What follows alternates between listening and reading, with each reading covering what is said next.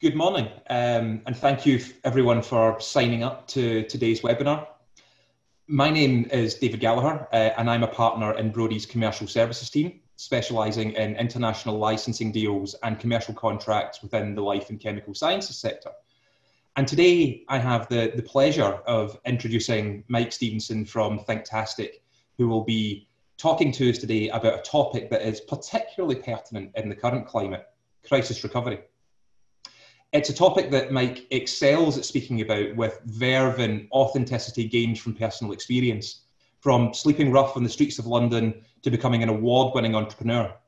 With 30 years as a marketing professional under his belt, Mike previously founded Heatwise Glasgow and Design Links Marketing Agency, which within a few years grew to a business with a turnover in excess of 1 million. Mike today will touch on the use of colour, ambitions for Scotland, trends for the future, and the importance of collaboration.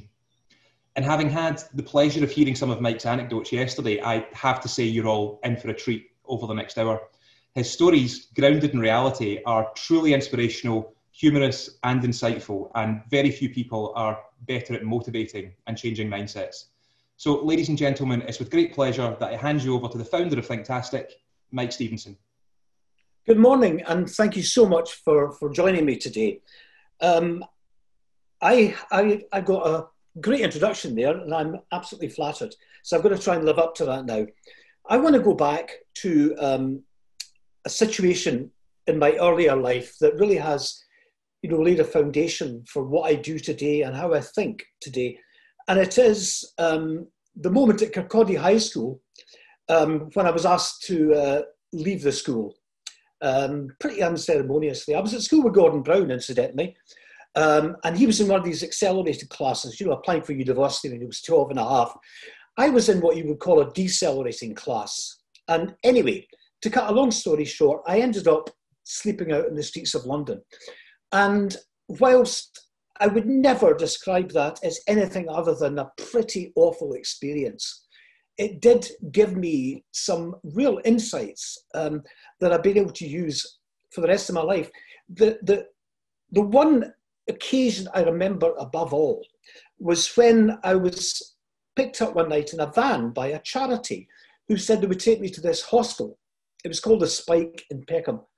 And it was one of these Disney-esque buildings, you know, uh, dark against the, the moonlit sky. And when I arrived, I was shown into this green tiled room, and the first thing that was said to me was, take your clothes off, which I did. The next thing I knew, there was a high powered hose pointed at me.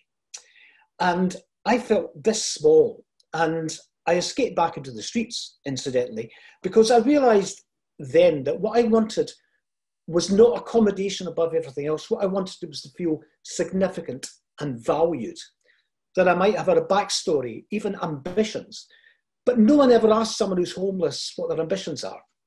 So it gave me a real insight into communications. But then I reached a particularly low point and I remember saying to myself, a doctor had told me at Charing Cross Hospital that I would be lucky if I lived till, till I was 22. And here I am at 70. So obviously that doctor was thankfully wrong, but I think I changed something in myself uh, as a result of that. And it was, you know, I knew that I was going to go either one way or the other. One way was down, and I didn't have much further to go. The other way was up.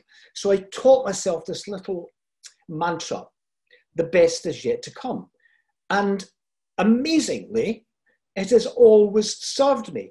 And I have had many dips. I've lost businesses. I've lost, you know, I've been down there again. And each time I have told myself the best is yet to come.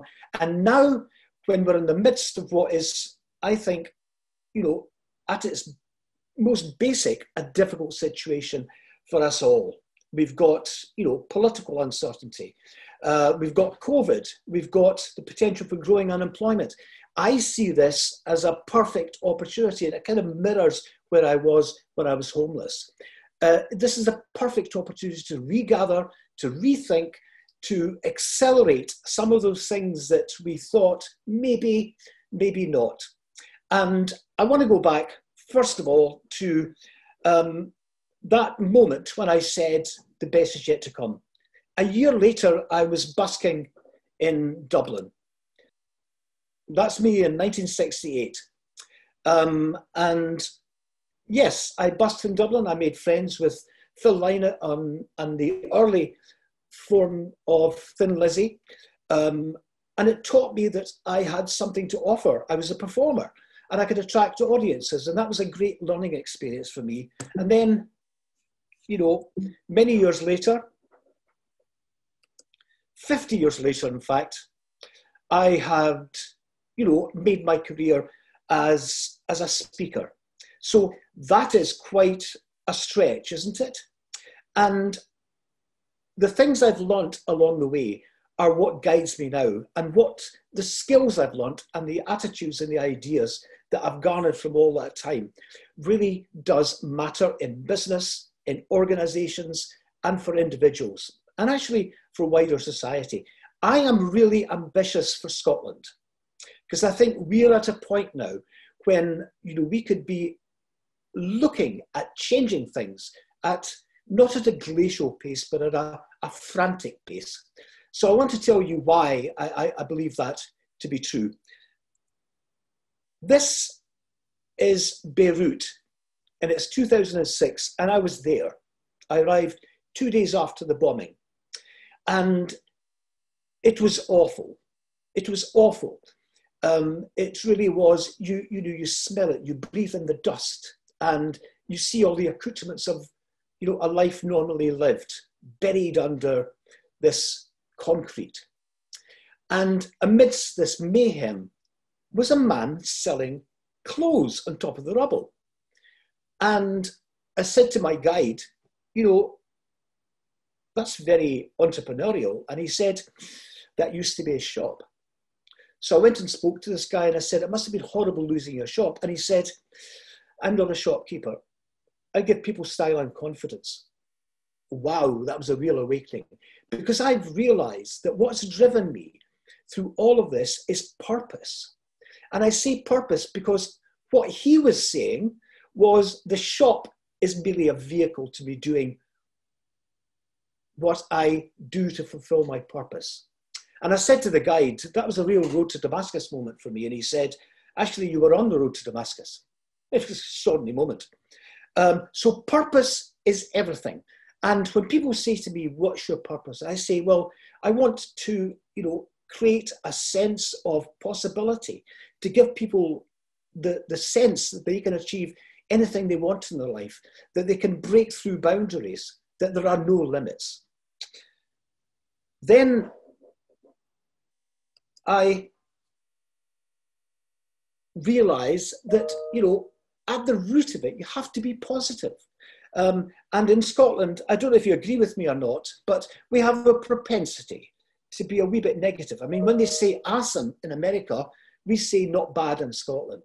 And this is something we've got to change. And I work in schools and I see it beginning to shadow young people this sense that there are limits to their life, that they don't have possibilities that perhaps other children have.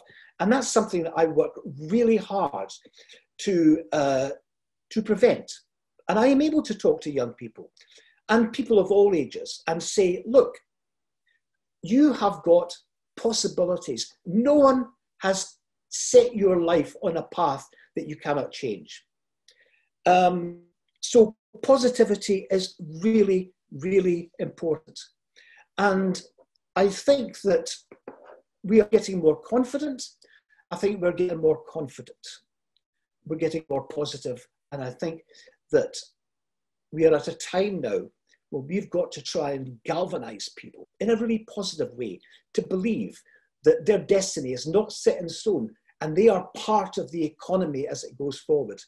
The other thing I've learned is creativity. Now, I made a business out of creativity, and there is no challenge that cannot be addressed by applying a bit of creative thinking. Now, I do this with organizations, public services, and it's extraordinary the number of ideas you can extract from people that work within the company or the organization or the public service or the community.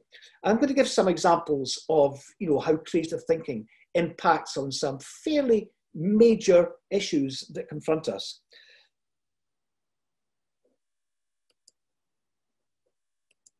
The other thing that I have learnt in this pretty long life that I've lived is, you know, you can do things on your own, but when you collaborate, you can get so much more done. You can get so many more ideas.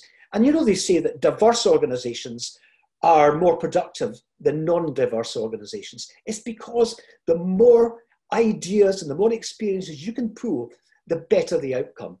And I've been involved in lots of collaborations. And I'm going to give some examples of collaborations that I've seen that I think are pretty, pretty imaginative.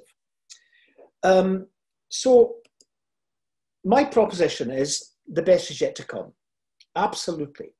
This is a time, and we needed this time. And I don't mean that in a, in a very negative way.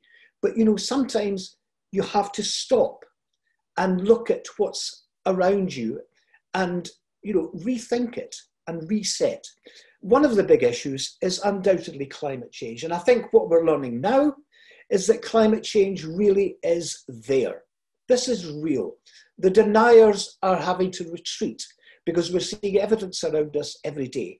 But do not be despondent because I believe the human capacity to repair um, what's around us is enormous. And you know, there are ideas from all around the world taking root at the moment, if you excuse the pun. This is a, a wildflower garden in a churchyard in Holland. And the reason it's full of wildflowers is that someone in Holland created a confetti that when you throw it up in the air, it does not litter, it plants wildflower seeds. So you get this. It's extraordinary, isn't it? Um, Google in America, and I think more and more employers around the world are going to be looking at the bicycle. Um, our cities are going to look different. And I don't know if you know, but the, the sale of bikes during the lockdown went up by 40%. So people really are recognizing that this is a means of transport that's fun, that gives you exercise, allows you to breathe the fresh air. The only fresh air um, that's available is when you're out of the cities. And I think we need to be looking at reducing the impact of the car. Um, but I think now is the time to do that. Why not? This is a, a city design in, in America, and there are lots of visualizations of what cities are going to look like. This is a prototype for Chicago, and it shows you um, that you know much more greenery, much more greenery, um, and you know carbon free transport, people able to walk um, freely, and there's no motor car in the picture at all. I don't know if this is the perfect image of the future, but what it does show us is that things are changing. The other thing is, you know, we have got so used to packaging um, that we we expect things to be wrapped in plastic and sometimes in bubble wrap. And, you know, this is a trend that is beginning to grow. I know Edinburgh and Glasgow have got their small shops at the moment that are package free. And it also allows you to buy the quantities of things that you're, you're looking for, which for a single man like me living alone is a godsend. In Germany, they've now got supermarkets that are completely zero waste, package free. Uh, so you take your own containers along, you take your own bags along, and you can buy your food and your goods without having to, you know, discard things afterwards and put more plastic in the oceans. Um, greenery is becoming ubiquitous, particularly in Scandinavian countries now. This is in Denmark, and it is, you know, the combination of architecture and design with greenery. And in Scandinavia now, they're planting mini forests in Scandinavian cities, in Copenhagen, in Stockholm, and around the smaller towns. And it's amazing because not only are you, you know, adding greenery, but you're also, you know, contributing to the, the fresh air. You're contributing to the, the quality of the oxygen. Um, so this makes me really hopeful. Can it be done? Can, for example, Glasgow or Edinburgh make that transformation and make it rapidly? Well, there is proof of this.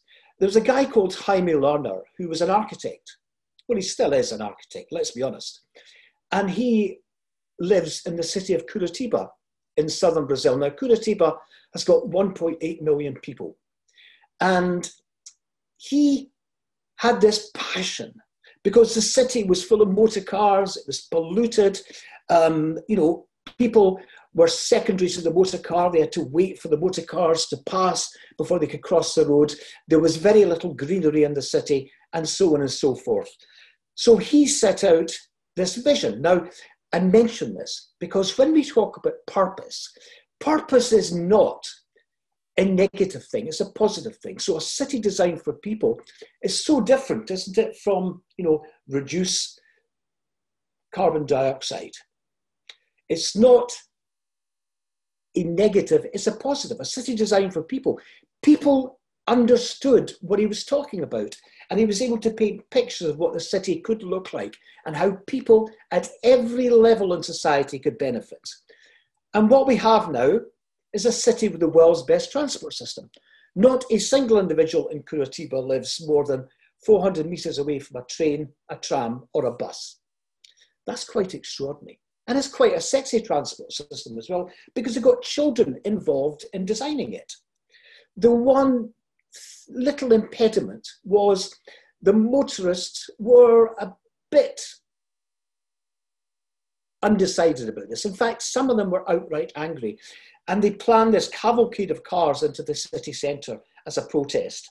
And when they arrived close to the city centre, there were children on the road drawing pictures of what they wanted the city to look like. That was the end of the protest. Um, every individual has 64.5 square meters per, for them. It's distributed around the city. This is extraordinary. It is really extraordinary because we need more greenery. And Glasgow and Edinburgh are actually very well served, um, as are most Scottish cities.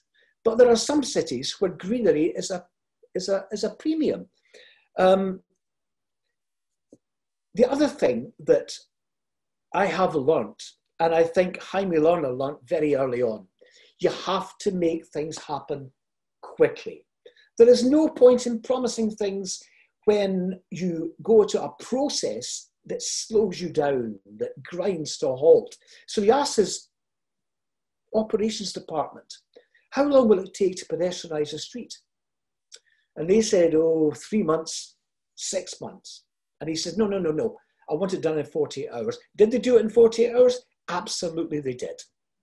So here we have an area that has kids wandering freely, people eating sandwiches, um, kids not tethered to their parents, and you know running about and, and doing what kids do without any fear of the motor car.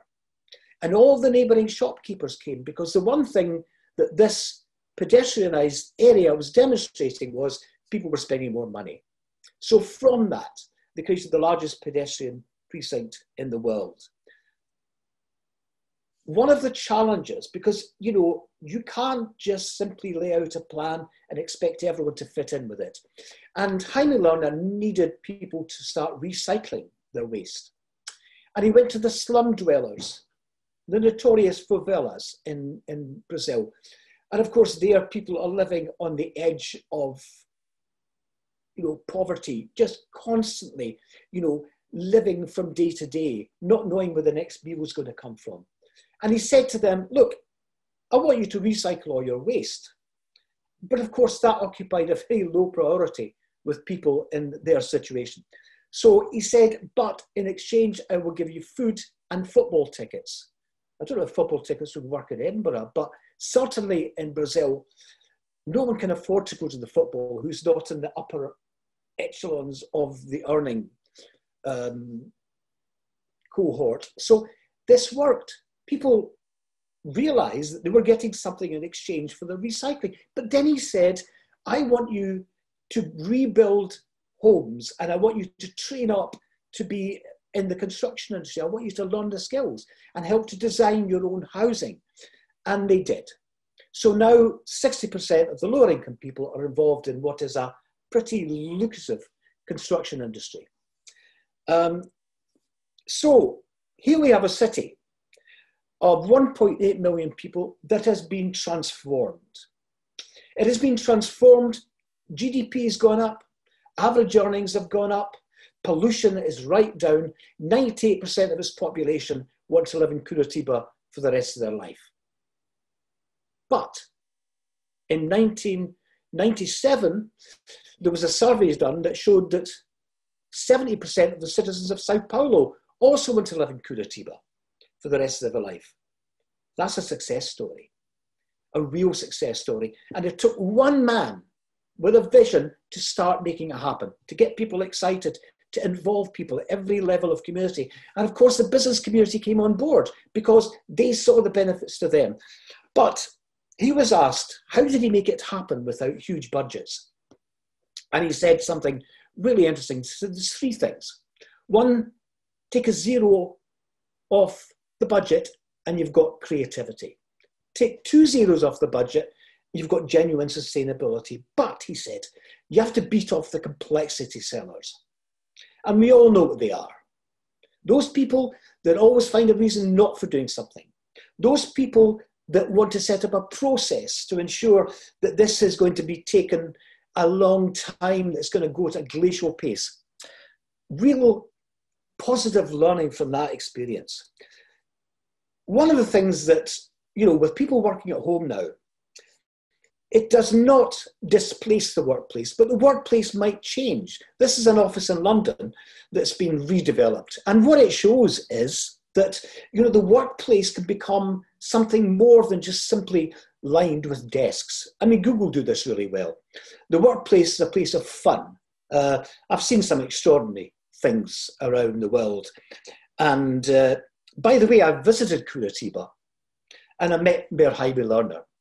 So I know that this whole thing is about creativity. It's about looking at what can be done to solve problems. Now, the workplace um, is going to become somewhere where people go perhaps once or twice a week, apart from you know critical office industries where you know people need to work together. I was speaking to someone yesterday who works for the Mental Welfare Commission, and they take calls. They each take a day uh, taking calls, and these calls can be really difficult to deal with. Really, some very heartbreaking stories they're listening to, and some very anxious uh, people. And in the office, they get to share their anxiety, they get to talk about it. But at home, they're not getting that. So there are some advantages with working at home, and there are some disadvantages. So the workplace, as we know it, must become somewhere that's slightly different from what we know just now. This is um, the city of Tirana in Albania, a city that was until you know a few years ago battleship grey. And the mayor who was elected was called Edi Rama, and he was an artist. You see, here we have an architect in Curitiba and an artist in Tirana. And he asked people, What can I do to make life better for you? I don't have a huge amount of money. And they said, We want more colour, we want more trees, and we want our civic spaces cleared up. He delivered them that. They found a palette of colours and they painted all around the city. They planted 15,000 trees and they cleared up the civic spaces. Now, one thing that no one had ever calculated into this was that one of the impacts of that would be that crime came down quite dramatically. So here we've got a correlation between neighborhoods, color, and crime.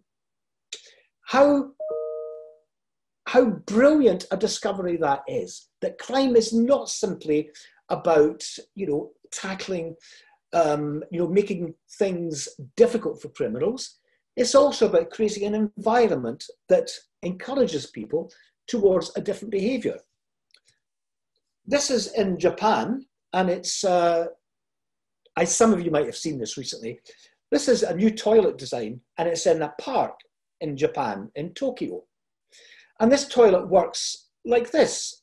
It's transparent, as you can see. Not much of an incentive to go inside, is it? But when you go in and you clog the door, it becomes opaque. So I just think it's lovely because it's a presence in a park. At night, it's all lit up and it's very colourful. You know, design, creativity, these things are really important as we move forward because we know we're uplifted by design because it really does work.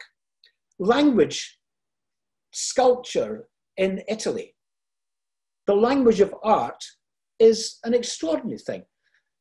I want this in Leith, but I haven't found the means by which to provide it.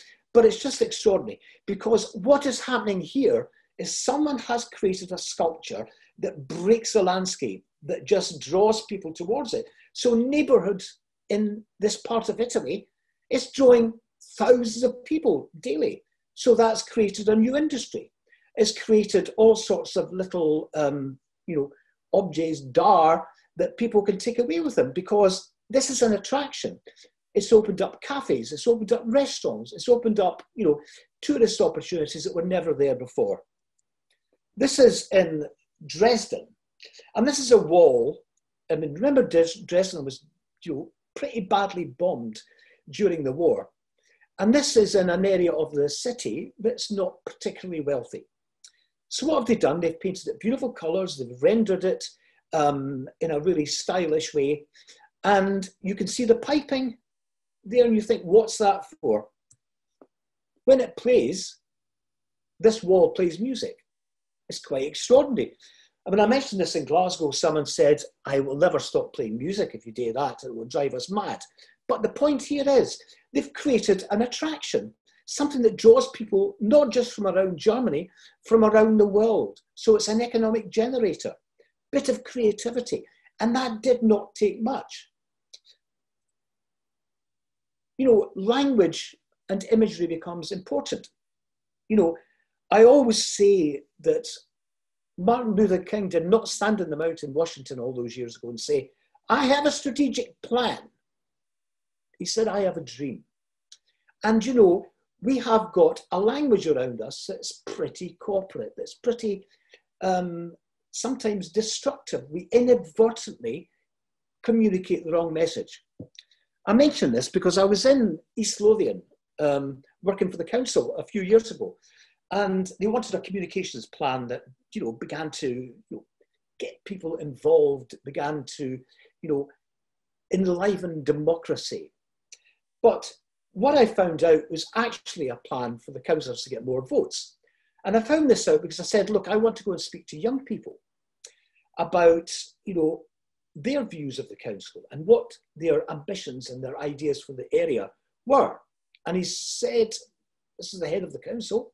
He said, Oh, I don't know about that. They don't vote yet. So, anyway, I got permission to do that. And I was in a school in Tranent and I had the council logo, you know, facing towards me. And I got them warmed up. This is second year class.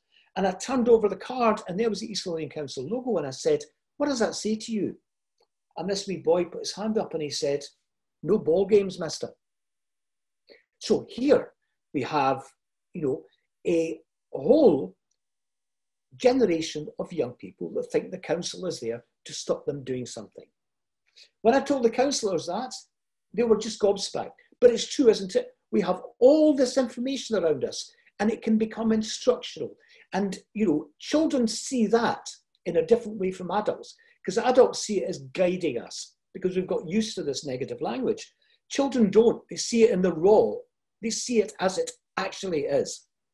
So, this is an example of how you can incentivize and provide a bit of fun around the fun of, of washing your hands. Um, this is a design done by Studio LR, my friends in Edinburgh, and this is the proposal for a children's hospital why not say it as it is? You know, instead of you know using the language of medicine, use the language of the consumer so they understand what it is. It's also a wee bit funny, isn't it? And it it lifts the spirits. By the way, in in Montreal, the they brought in a creative agency to work with a hospital. It was a children's hospital, and they found out some amazing things, and they were able to help reduce the stay in hospital and improve outcomes for patients by doing two things. One was children are very anxious when they arrive in the hospital. It's a hostile environment. Of course it is. And even if you've got a parent, you know, staying by your bedside, it feels like an alien environment. So what they discovered was that if they took a film of the child's bedroom and showed it at the end of the bed, the child relaxed much more quickly. The other impediment to you know, children feeling relaxed were the implements that doctors used, you know, stethoscopes, needles, all these things that look incredibly frightening to a child. They created a, a cartoon that showed all these implements as friendly characters. You know, simple. That reduced times in the hospital. So it actually improved the hospital's um, ability to budget. Creativity. Can we really tackle those things that beset us? One of the big things that we've never addressed in all the years, because cars get faster and faster and faster, is the issue of speeding. And speeding is, you know, something we want to tackle, and we've always tackled it in a very particular way, which is, you know, putting signs up with a speed limit and then having cameras to catch people. And then we find them. But it doesn't work because people have worked out where the cameras are and so forth. We all know what happens. But we do know that the smiley face works better than a speed camera because it gives people a positive affirmation. Now, a young guy in America called Kevin Richardson had this idea to tackle speeding. And he tried to sell it in America and he tried to sell it in Britain. They said, no, we've got our own systems. But in Stockholm, they said, we like this idea. So what, how it works is simple. If you're going under the speed limit in Stockholm, a big sign flashes up and it says, thank you, you've been entered for the speed lottery draw. And if you're going over the speed limit, it says, thank you, you've contributed to the speed lottery draw because it, it captures the registration number on your number plate. So here is an idea that came from a 70 year old. And the impact was speeding came down by an average of 22%. That is extraordinary, isn't it? Now, the other thing I've talked about is, is, collaboration, and there are some great examples of collaboration. You know, um, if you think of, you know, uh, Spotify and Uber have formed a collaboration. So if you get into an Uber car, you can put your own music on in the car, and the driver just has to like it or lump it, because after all, you're able to rate the driver. There's lots of them. There's there's one that I remember. It was between, um, I think it was Reebok and Cirque Soleil Cirque Soleil.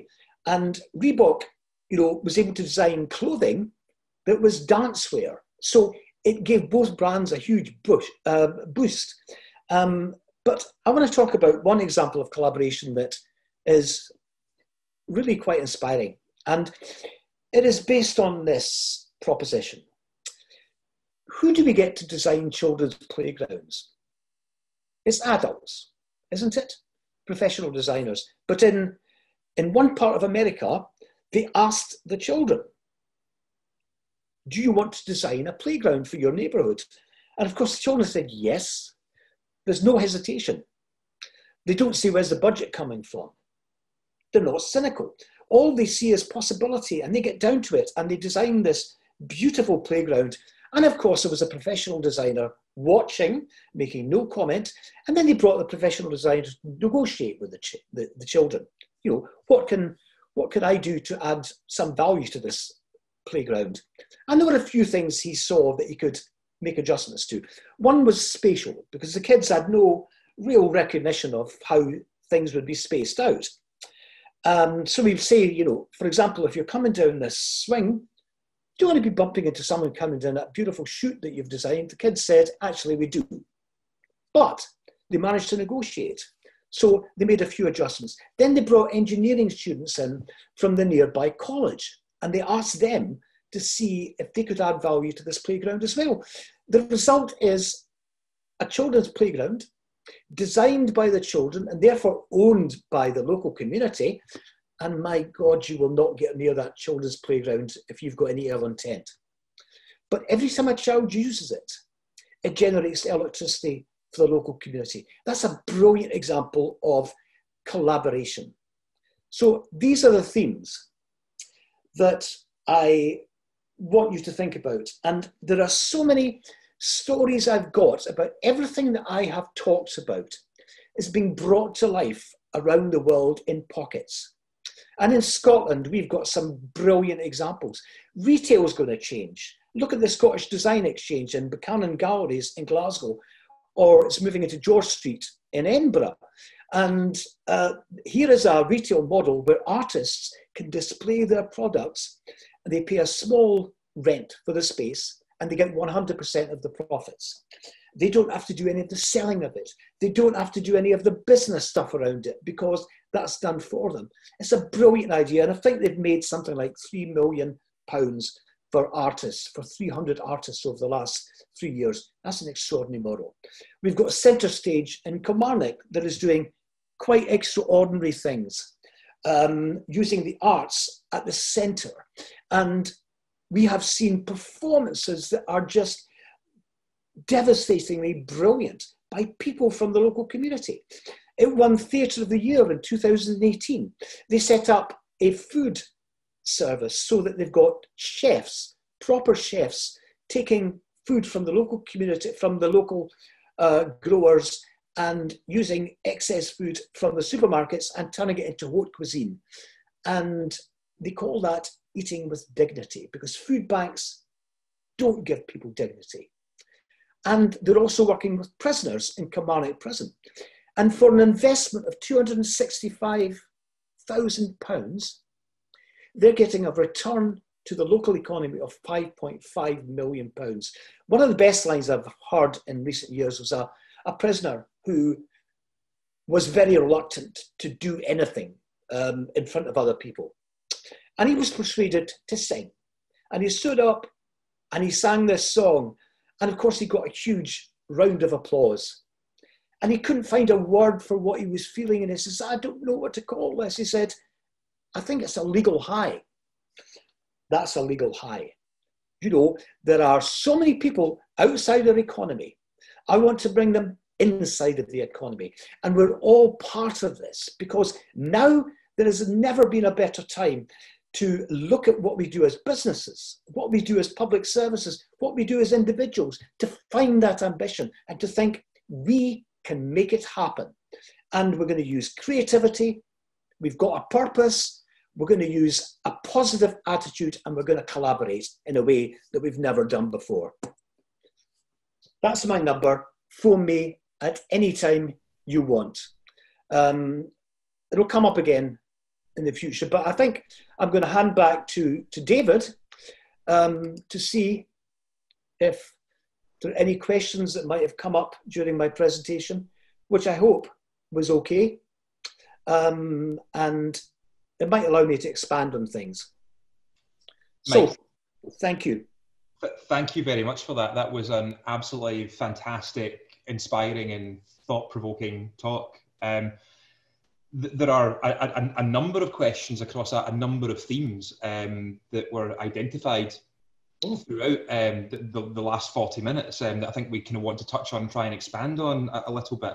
And a lot of your examples that you used really lend themselves to the, the idea of, of community. And you how, how can we, in Scotland and in the UK, and you know, particularly just now when we're being urged to minimise our social contacts, give ourselves a, a greater community identity? Well, I think one of the things that we've we've I like neighbourhoods of distinction, and I put together lots of um, proposals around this. One in Burnley, um, one in Manchester, and you know this. The, there is no reason why any neighbourhood can't establish some kind of differentiating theme. And then you can bring in the creatives, you can get people locally involved in it, you can create employment. I was in the East End of Glasgow and I asked this question, you know, don't ask people what can we do to improve your area because it's been asked again, how can we make it more inclusive? That's a language people don't really recognize. And you know, when someone comes to your door and says, I'm a financial inclusion officer, you think, what do you mean? Are you going to help me get money? Are you a money advisor? Yes. So how can we turn neighborhoods into really distinctive areas so that when you walk into it, there's a different atmosphere. There's something unique about it. Well, um, I asked this question, you know, how are you going to turn this area into a tourist destination? No one ever asked them that.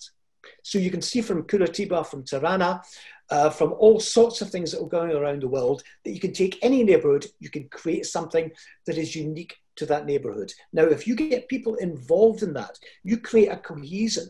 But it starts with this purpose, you know, and the purpose has got to be something more than we're going to regenerate the area. That's a process.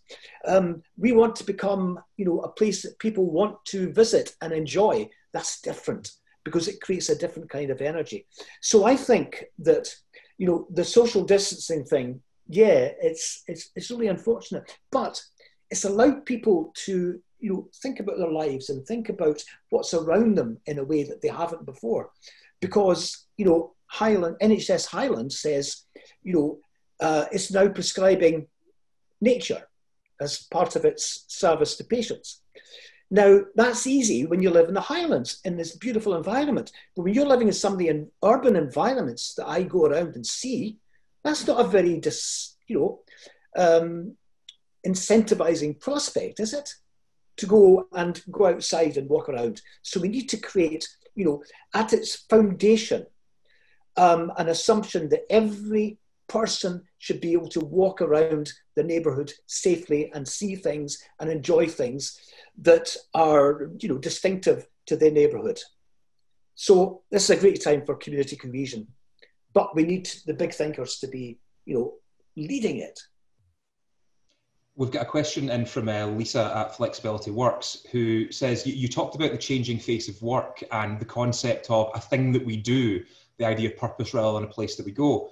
Um, and she's interested in your views on how flexible working can be further embedded into society in Scotland and what you think the benefits will be to people and to businesses. Well, look, I've been an employer and I had very high um, retention rates. I had very low absenteeism rates. And someone asked me what it was I did. And I just said, look, um, these are human beings. I want them to live their life. And the more they live their life outside work as well as inside work, the more they've got to contribute. So we know this from, say, Microsoft. Microsoft did a four day week with uh, you know, a proportion of their company. And productivity went up 40%. Uh, Google does a four day week and it gives the, the, the, the remaining day uh, a chance for people to go and explore things and you know come back with ideas to the company.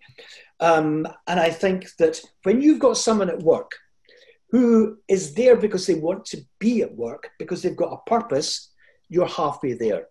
If you start putting constraints and rules and regulations and time limits, you know Google, um, they do really well from the from their people. But um, Virgin Airlines you know, Virgin stopped people having holidays. They stopped, you know, holiday allowance. They said, if you want to go on holiday, go on holiday, just tell us.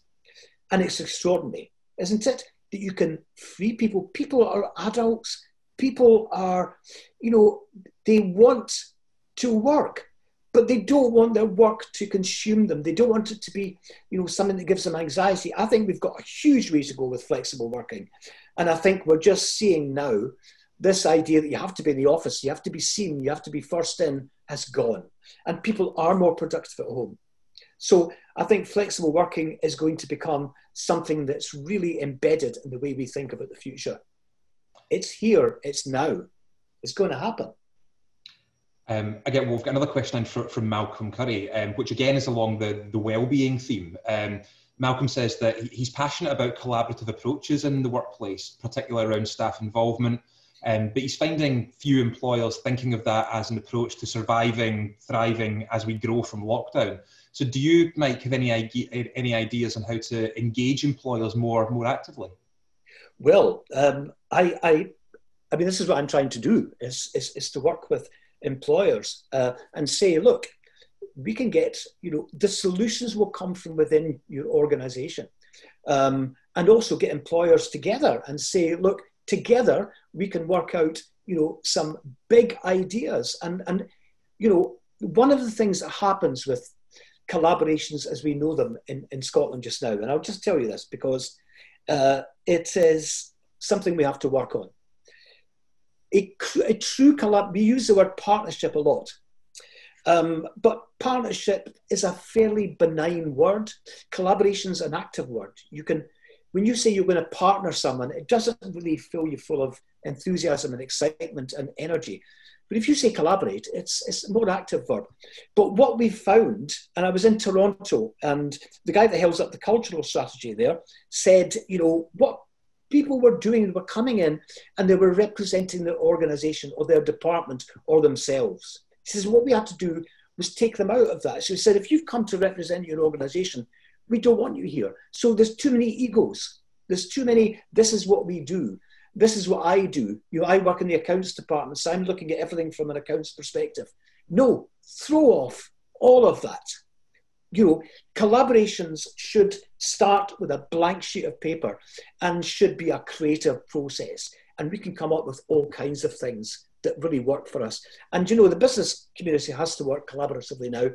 And you know, they have to get their employees engaged in finding out, you know, what the future might hold. Because the employees their staff will have ideas. And when they work with other businesses, you get so many more ideas than when someone tries to do it alone. Uh, uh we've got two, one comment and one question, and that relates back to your your anecdotes that you mentioned just around around town and city planning. Um, there was a, an anonymous comment that came in that said uh, inspirational um, as an as an environmental advisor for the past twenty years. I oh. think identified exactly how town and city planning in the UK and beyond should be done.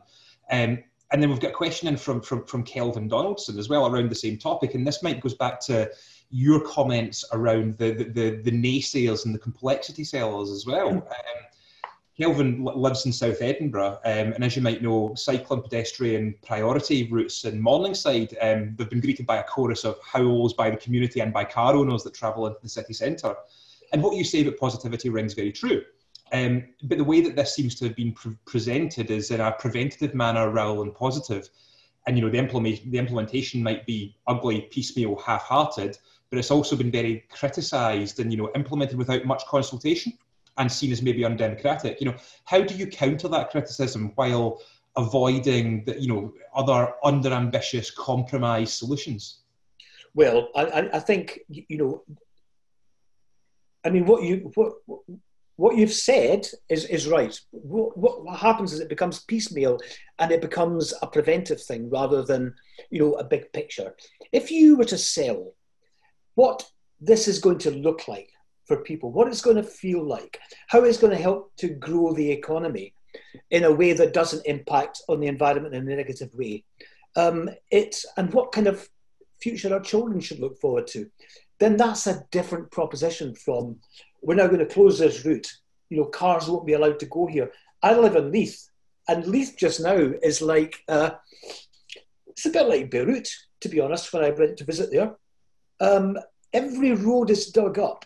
Um, and it wasn't done with consultation. The consultation was after the fact.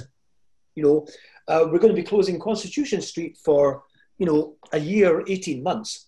You know, saying that to shopkeepers who depend on business, saying it to a garage owner who gets cars coming into his garage. So it's got to start with a vision. And, you know, I, I love the, the, the, the wordplay in creating a vision.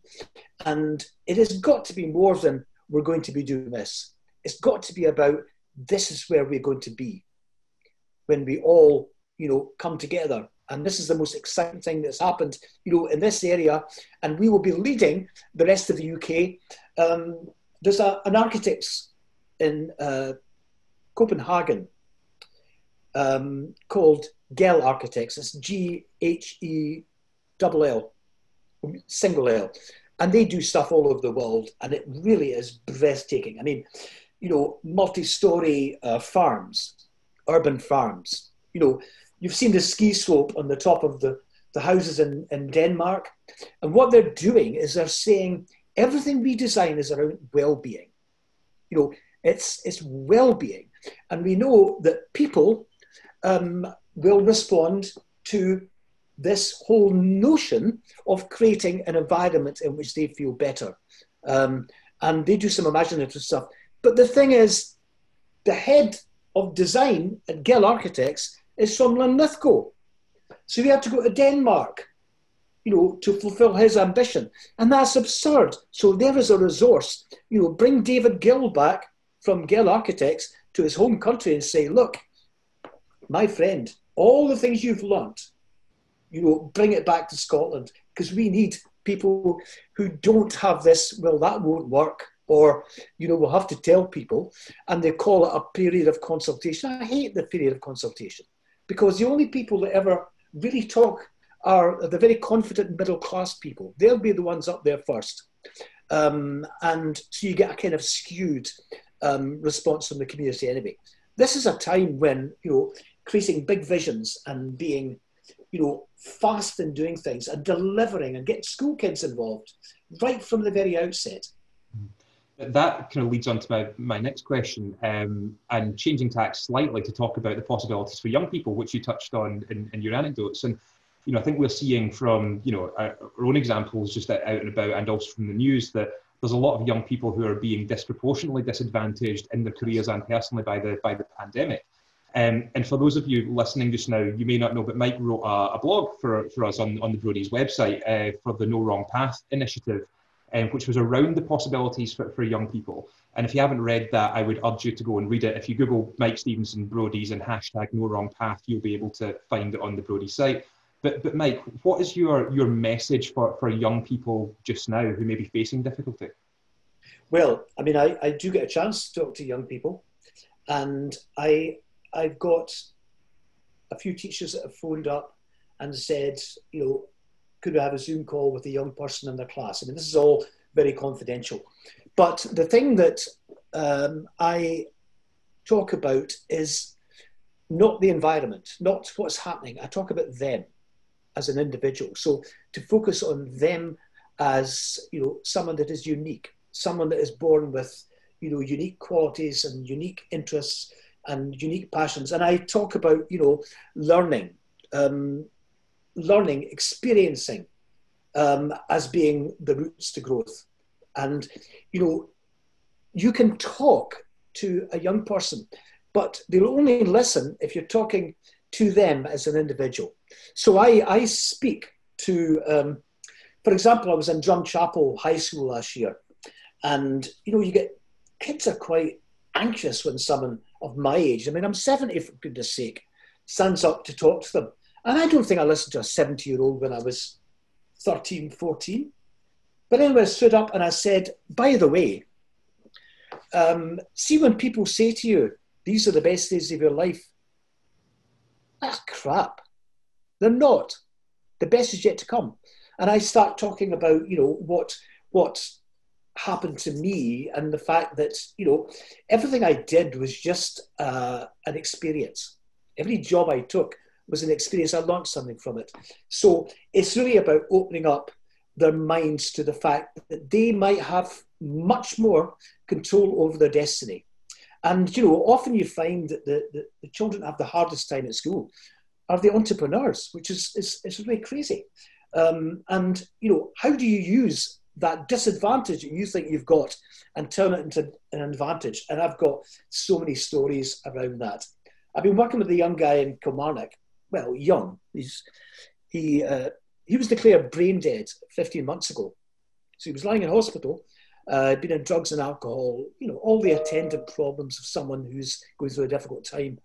Um, and I've been coaching him to tell his story because he came back to life, and he's now a writer He's a wordsmith. I mean, he is a brilliant writer. And I, I coached him to present his story. So he went and spoke to the Parliament, who um, were influenced by his whole story because his message was, you know, anyone could do what I'm doing. I couldn't believe I could actually write stuff. And now I'm doing it because someone had sparked that in him. If that idea hadn't been planted into his head, it might never have happened.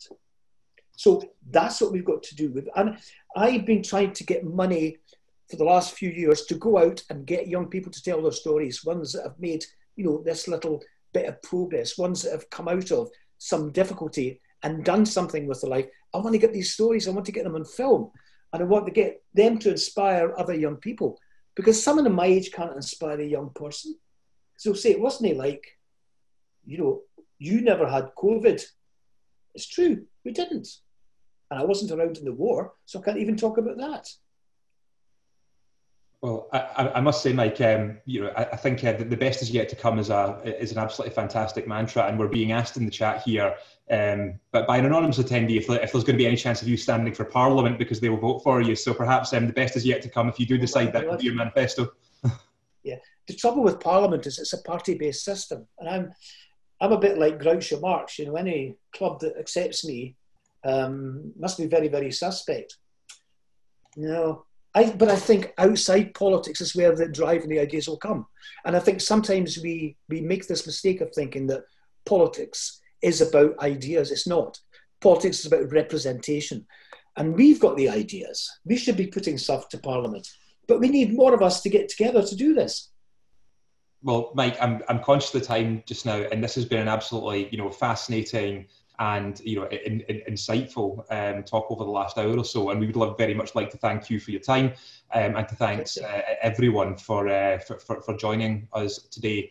Um, there will be a recording of today's event that's uh, that will be sent out to, to delegate lists. So if you missed anything or you want to try and pick up on any of the concepts again, um, that will be landing in your inbox. Um, and as I say, I'm sure we will work together again in the in the future. Um, so if everyone can get, give a big uh, virtual round of applause for Mike Stevenson this afternoon. Mike, thanks very much for your time.